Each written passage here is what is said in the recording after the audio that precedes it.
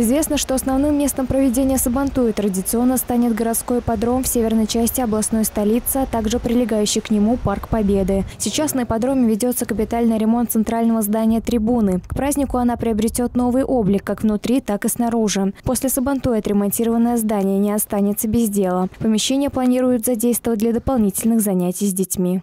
Все эти мероприятия, они останутся в городе для э, развития вот э, этого большого, очень замечательного микрорайона. Вот это вот здание мы просили бы вас э, после проведения мероприятий предоставить детям, чтобы здесь создать детскую школу. Нет, именно для детей все это и делается на Да. перспективу. Помимо основного здания, здесь отремонтируют, оградят беговые дорожки, построят две новые конюшни площадью по 500 квадратных метров каждая. Для удобства граждан установят два модульных туалета. Также сейчас ведется капитальный ремонт подъездной дороги к ипподрому. Здесь у нас предусмотрено расширение проезжей части, э, создание тротуаров, э, устройство уличного освещения, ну и пространство для парковки автомобилей.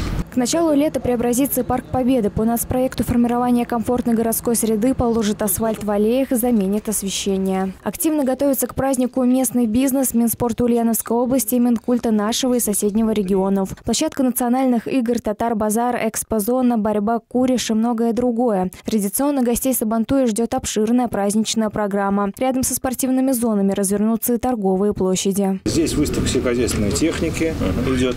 Здесь национальные игры, площадки. Это и на стол, значит, и мешками подрастают. Здесь вот все полностью идет. И здесь вот внутри фудкорт располагается. Здесь уже все, все питание решили тоже ну, под э, один брендованном виде, чтобы без всяких штанов, там аккуратно, красиво все было. Праздновать Сабантуй будут два дня – 17 и 18 июня. Так, 17 июня на ипподроме запланированы конные скачки. Основные события развернутся 18 июня. Алина Тихонова, Александр Кудряшов, Улправда ТВ.